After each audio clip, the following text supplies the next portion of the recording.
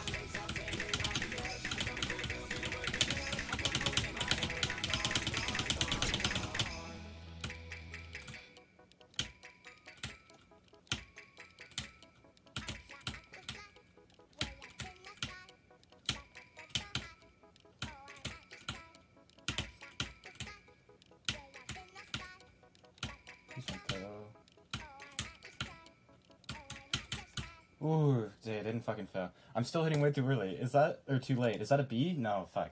I, yeah, I'm still hitting way too late on a lot of these. Like I just not paying attention enough to like the entrance or like the start of the jumps.